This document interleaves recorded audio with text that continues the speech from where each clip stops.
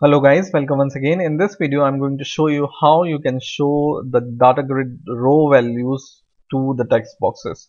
So for example, I select some cell or uh, the row from here and you need to uh, show the values. For example employee ID in this employee ID text box the uh, first name in the first name text box last name in the last name text box and the pay in the pay text box. How can you do it? I will show you in this video so let's get started.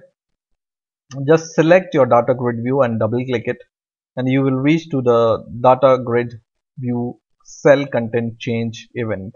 You can also uh, uh, choose uh, selected or selection change event which you can find here or you can also choose a mouse click event instead of using this uh, cell content uh, click event. But for uh, this video I'm using cell content change event. Now the first step is to check whether your cell index is greater than 0, greater than or equal to 0. So I will give this if condition and in here I'm going to write the index and I will verify the index if it, it's greater than 0 or not. To find the index you just uh, take you just need to take this uh, variable which is data grid view cell uh, event args and just paste it here which is simply e. Then just write dot row index and this will give you the row index. And we will check if it's uh, greater than or equal to 0 um, and if it's greater than or equal to 0 we will uh, find out the row. So we will just use this uh, object called data grid view. And let's see what is the object name? Row data grid view row. So let's search for data grid view row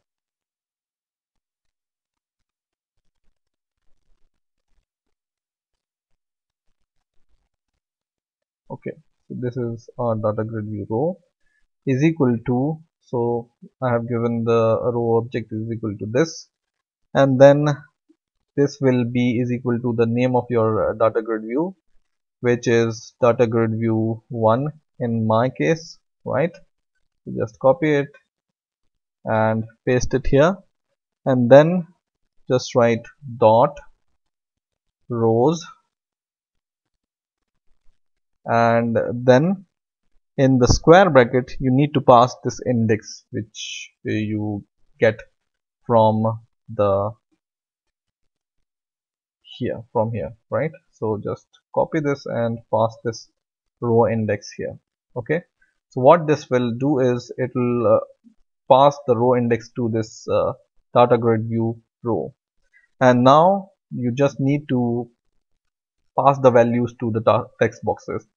So just select your text boxes and copy the name of these text boxes paste it here dot text is equal to then just take this row variable and then just write dot cells which is this one and we use square bracket to find out the index so this uh, you can do it in two ways. You can either provide the cell index of the row or you can just give the column name. So you see here column name you can provide or otherwise you can provide the index. So for example i am using index for uh, now. So zeroth index on the zeroth uh, row or zeroth column you will be having uh, this uh, EID or employee ID. So we want to transfer the value from the employee ID. So we write dot value. And then we need to convert this value to string in order to show it in the text box right? So just like this okay?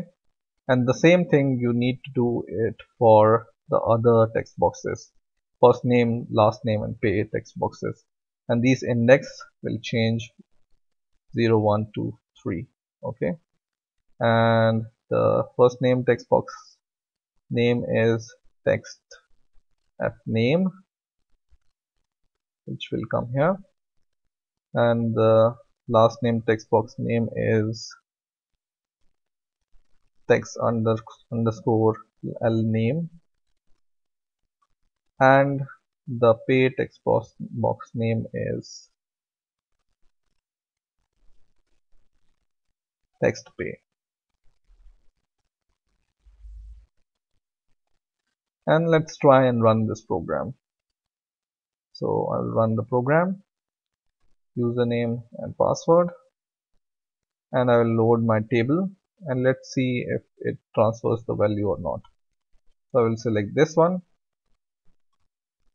and it transfers right?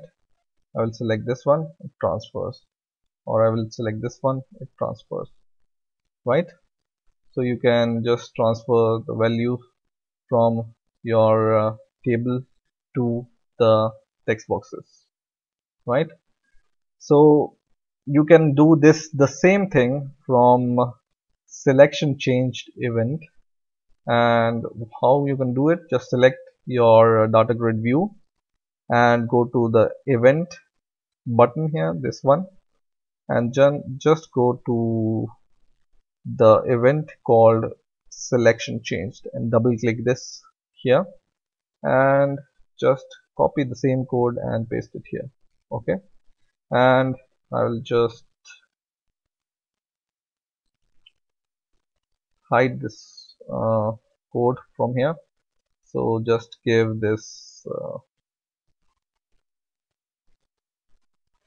so in this selection change event you don't need uh, this uh, row count here I will just delete this from here.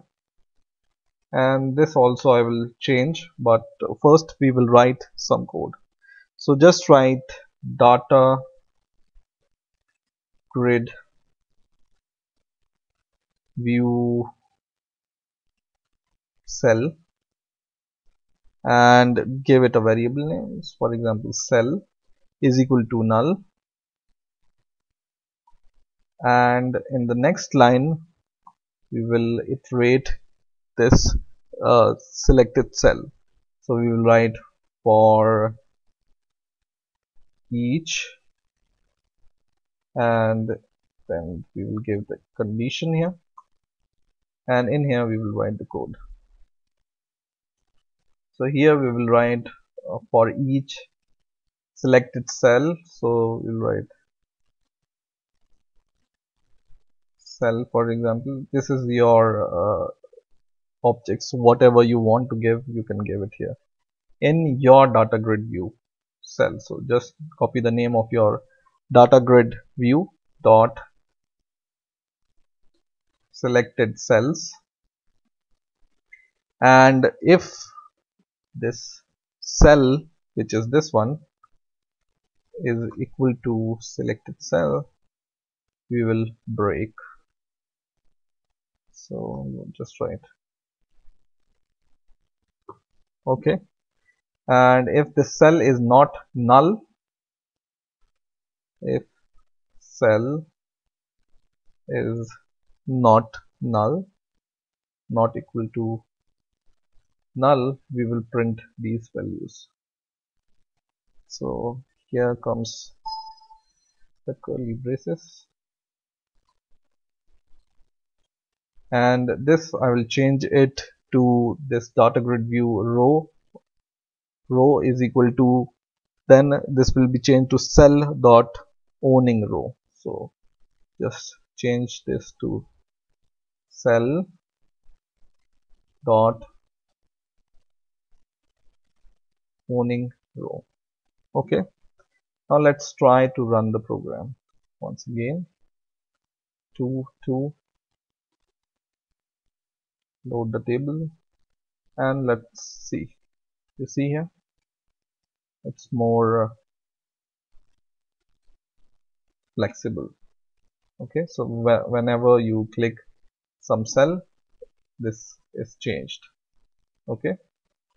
So in this way you can uh, transfer the data grid view values to the text boxes. I hope you have enjoyed this video. Please rate comment and subscribe and bye for now